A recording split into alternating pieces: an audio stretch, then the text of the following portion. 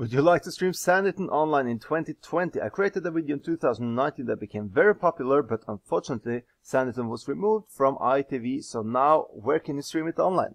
The solution is, uh, in the movie description I've included a link to the following site. This is NRK in Norway, the Norwegian state TV channel. They are broadcasting it and it will remain available on their website until the end of November 2020.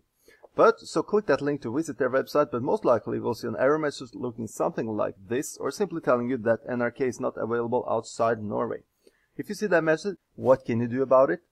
Well, uh, included in the movie description is a link to the ExpressVPN website. This is the fastest VPN provider on the market. They have a 30-day money-back guarantee and can be used for unblocking American Netflix, Canadian Netflix, UK Netflix, BBC, ITV, and of course also NRK in Norway.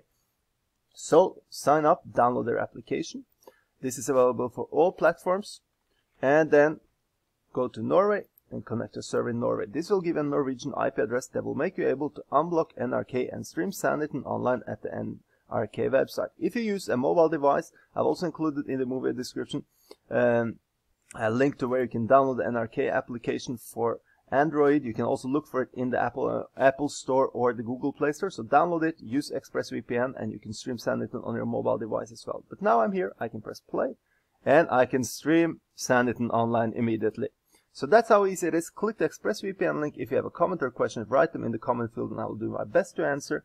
Uh, make sure to subscribe to the channel and have a wonderful day and click the ExpressVPN link for also three months extra for free if you purchase a 12 month subscription.